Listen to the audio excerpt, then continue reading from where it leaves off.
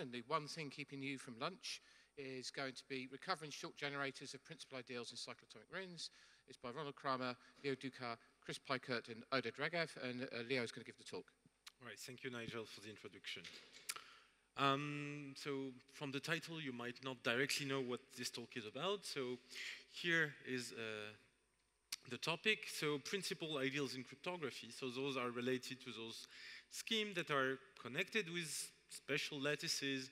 So more precisely, we, we, we will work uh, in a number field and its string of integer. So typically we consider uh, the cyclotomic ones because they're very nice geometric and computational properties. And so typically we do ring LWE or more involved problem uh, on those rings, but for efficiency or for functionality, some crypto system went a bit further and started basing scheme not on those um, uh, ring LWE problem or n problems, but directly on principal ideals on those rings. So this is the case of the Soliloquy scheme that was uh, developed internally by GCHQ.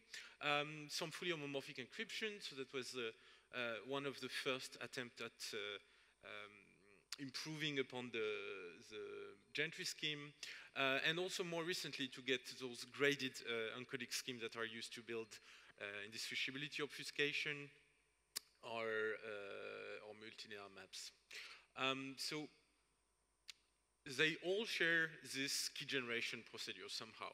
You will choose, as your secret key, you're going to choose a short element G in this ring, and as your public key, you're going to describe um, this, uh, the, the ideal it generates, but you're going to describe it as a general lattice. You're, you're just going to give a bad Z basis of it. So we know it has some structure, but we don't necessarily know what, uh, what a generator of it is, uh, meaning a generator for the ring.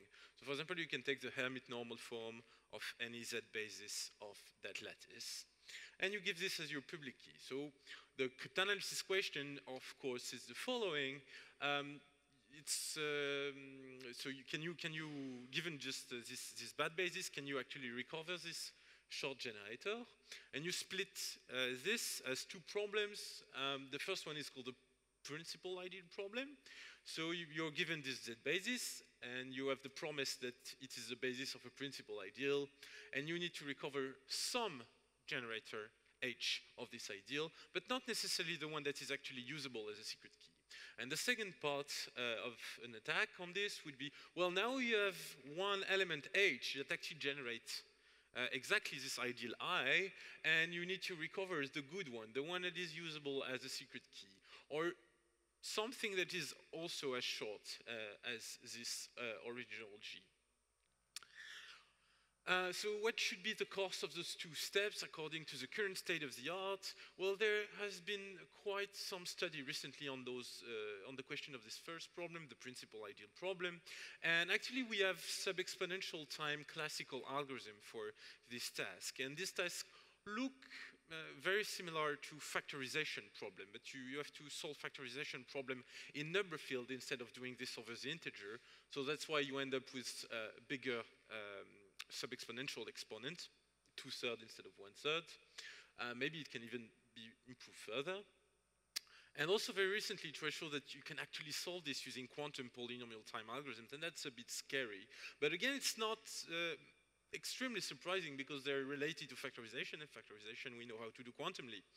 Um, so it was recently shown that we can basically generalize all those techniques to many dimensions. So what I'm more interested in this talk is the second step, that's not quantum. Um, and it is quite well known in algebraic number theory that you can view somehow this problem as a closed vector problem in a lattice that's called the log unit lattice of the ring. And, but that's the very general case of finding a, a short generator.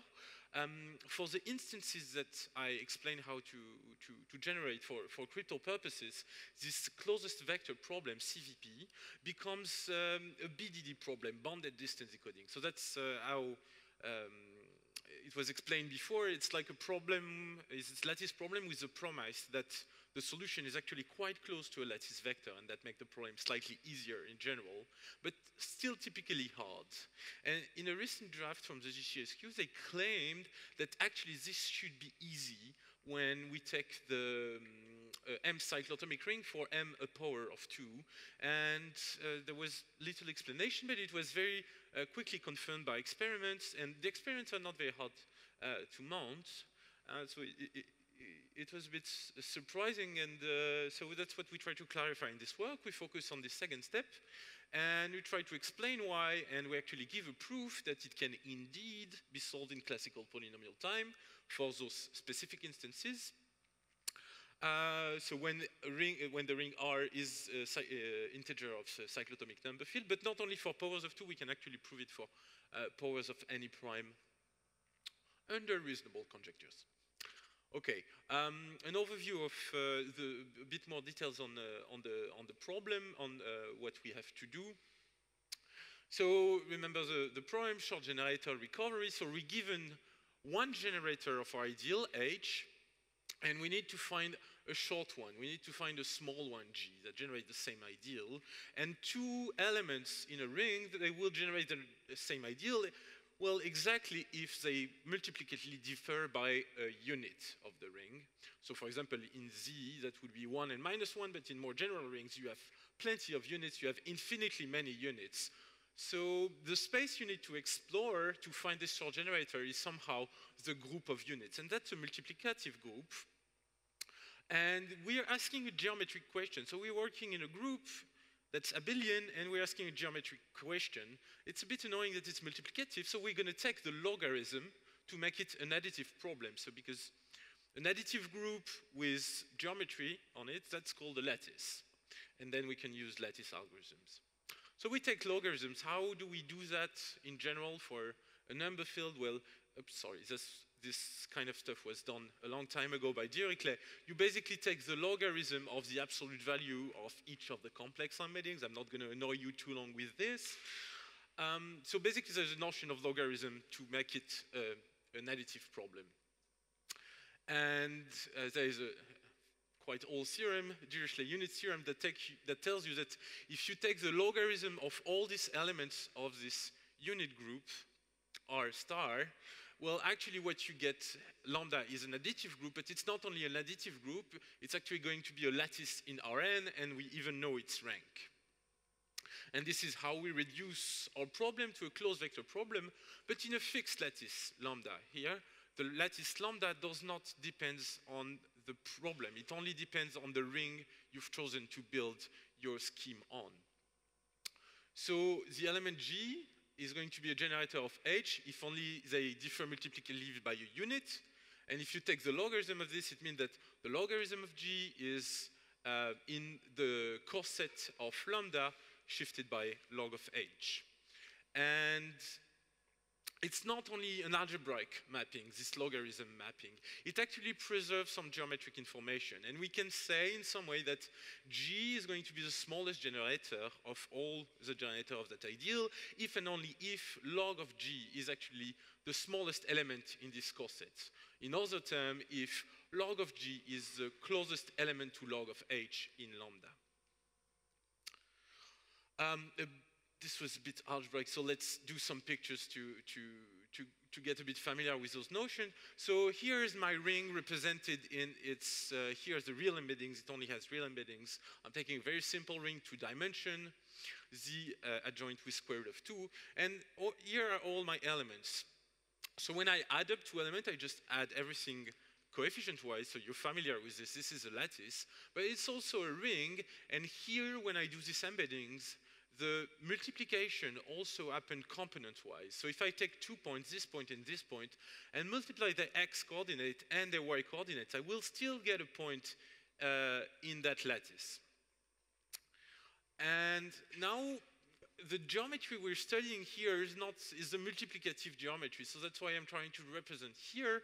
Um, and in this geometry, we have uh, elements that I would call orthogonal. So what are the orthogonal elements? Well, those are elements when I multiply by those elements, what happened to my space is that it only gets um, uh, scaled in every direction the same way and potentially rotate. So for example, if I multiply by 2, then I just, uh, I just uh, shift, I just scale everything. Minus 2, it's also the case, but if you also do this with root 2, well, then you've got some rotation, but there are still orthogonals. And the units, the importance in the units um, here, well, units are kind of the uh, opposite concept or orthogonal concept. Units are elements that don't scale volumes, but they shift things in one direction. So if they scale things horizontally by some factor, they will scratch the rest by the same factor. And so quite easily in two dimensions, you see that this form a hyperbola. Um, and then you have those isonorm curves. So those are elements that potentially only differ multiplicatively by a unit, but that might not be perfectly the case as we will see.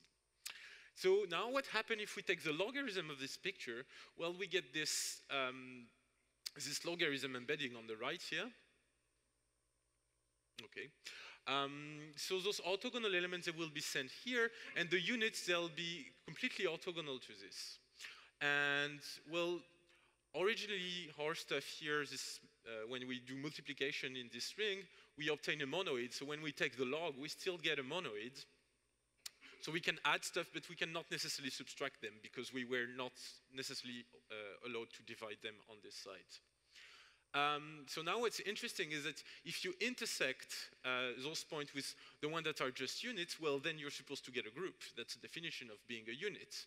And on this picture, it means that this subset of the blue point intersected with the red line, well, what you're going to get is actually a lattice. And interesting properties also from the monoid property, what you can see is that um, now if you intersect every line with this, uh, every isonorm line with the, the, blue dots, you get each time finitely many copies of your original log unit lattice, uh, this line here. So sometimes you don't have anything on the line, but you always get uh, finitely many shifted copy of that original lattice. Um, and what we want to do when we want to recover a short unit, well, when we want to recover a short unit, we're only allowed to multiply by units. So somehow we won't get really closer to zero. Um, so we don't think, we, don't, we cannot make things short in that sense, but we can make them short by making them closer to orthogonal. So things are short if somehow they don't distort space too much. And we want to bring our elements back closest possible to this line. And we translate it to this logarithm, uh, through the logarithm. What we want to do is like we want to bring things back to this uh, beam of light. So we have a fundamental domain uh, when, when quotient by the group of units, and it looks like, um, like this bend in the, in the logarithmic unit and like a cone in this space. Um, so if we can bring things back to this fundamental domain, then we've brought them back closer to, to, to being small or orthogonal, and that's good. But we need to be careful on which fundamental domain we choose, because if we choose a, another fundamental domain like this one, then we get things that are much further, uh, uh, much further away from orthogonal. And of course, we need to be able to do this algorithmically. So we need a fundamental domain for which there is an efficient uh, reduction algorithm. And for this, we can actually go for the simplest algorithm uh, there is in lattice theory to reduce the fundamental domain. We will use the simple rounding algorithm. So let's not go over the detail too much, but uh, what's important is that when you want to use it as a decoding algorithm, you can characterize its correctness depending on the dual basis. So if you have some lattice point that has some error and you want to recover the lattice point well, the property that you need is that the error um, has a small scalar product with every dual vector here. And this characterization is going to allow us to get uh, our proof go through. Uh, all right, so that's the general strategy to uh, tackle this problem. So that's kind of a folklore strategy for uh, algebraic number theorists. Uh, the first step is to first construct a basis B of this log unit lattice, and only getting a basis of it is not an easy problem. It's not easy to know exactly what this lattice is, but for those particular um, rings, especially the rings of integer cyclotomic number fields, we actually know a lot of units. And we conjecture that in most of the case they're actually bases that we catch all elements with those. Um, and, and, and we have a very simple explicit formula uh, for, for this unit given here. So the second step um, is to prove that this basis is actually of sufficient quality to solve this problem. And the third step is to prove that what you want to correct, the error you want to correct, this log of g, is going to be small enough. And those two steps are the technical contribution of our paper. So the first step is an estimation of the norm of those dual vector, and amusingly, it uh, relates to uh, analytical number theory. I will very briefly give an overview of this. And uh, we also solve this third point, like we uh, study the distribution of log of g when g is Gaussian. And this is done using sub-exponential random variable theory. I'm not going to cover this during this talk. All right, so uh, what, uh, what are the, the, technical results? So the first, uh, as I told you, we use analytical number theory to characterize the quality of this basis. And this is based on this kind of, uh, of theorems. Um, this one is from Landau, but we're using other ones.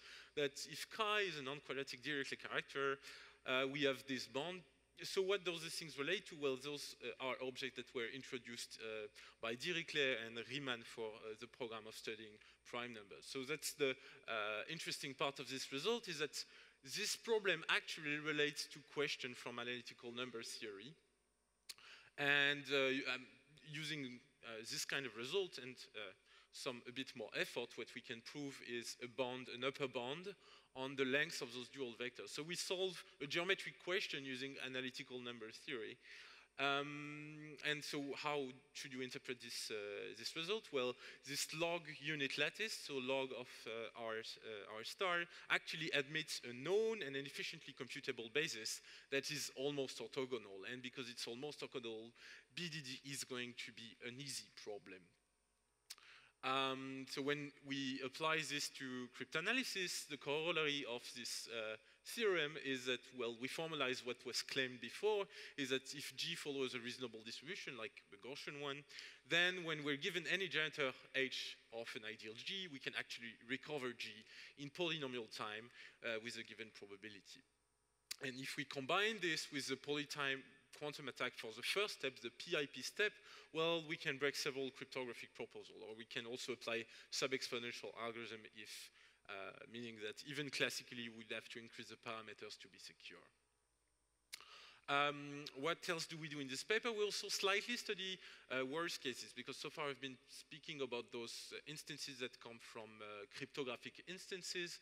But now that we have some information about the basis of this lattice, can we say some stuff about the worst case? And what we show is that in the worst case, uh, for any generator H uh, of a principal ideal well, given by this H, you can actually find another generator of H, and his length can be bounded by uh, the algebraic norm uh, rescaled by the dimension, multiplied by, um, by a sub-exponential factor. So here this factor is basically taking account for how big your ideal is. So here have, you have the approximation factor, and for such an approximation factor, um, if you use classical algorithm like LLL and BKZ, you were supposed to require super polynomial time, even no, just cyclotomic.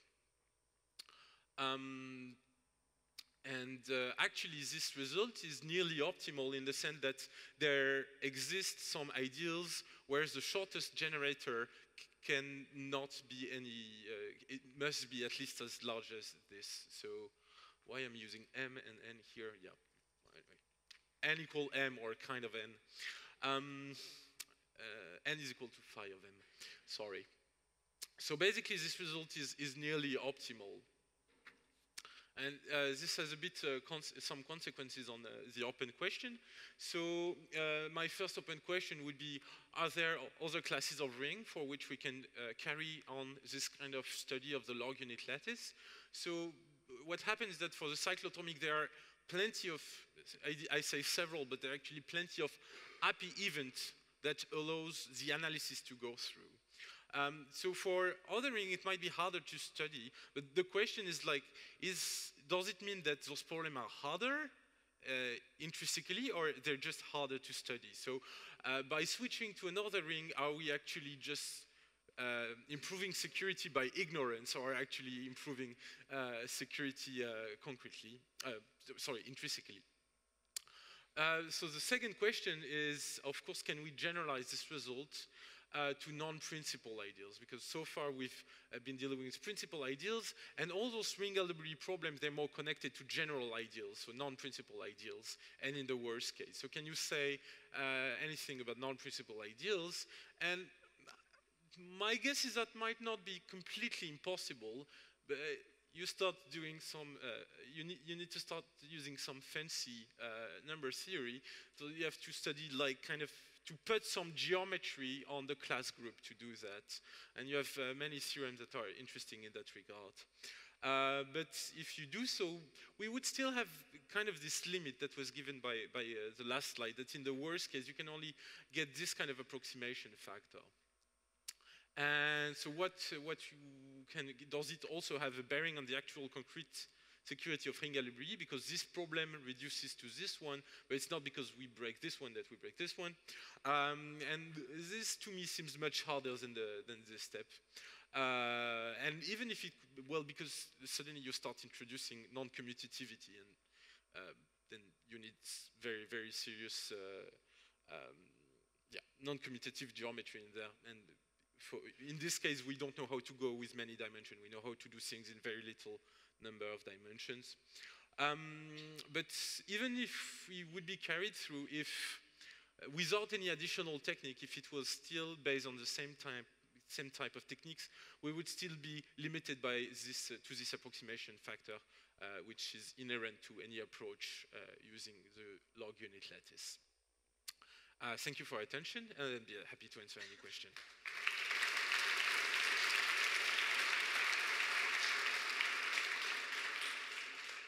Are there any questions? No, I've got, I've got a question. So if you, so these are only works for cyclotomics, which for which it's easy, easy, because we know the cyclotomic units. Yeah. Mm -hmm. So we've got very good control of the regulator. So would you be able to say generalize your result for rings for which we we know something nice about the regulator? So if you know something about the regulator, you might be able to prove uh, non-uniform results, like, oh, they exist a basis that would make this problem easy, and because uh, the, the ring, the, the yeah, yeah. It's a, it's a, yeah, then, then with a non-uniform attack, you might be able to say some stuff. Um, I'm, I'm, I cannot uh, promise that. It will all depend on uh, how big your regulator is somehow. Okay, and then, and then for the non principal ideals. So what would you do? Would you just say that you have a two-element representation of a non-principal ideal which is itself small? So what does that mean geometrically? So what you want to do is to, so you, what I would try to do, and I'm trying to do, but uh, is to try to find uh, an ideal that's a multiple, a you're trying to find a principal ideal which is a multiple of your current ideal.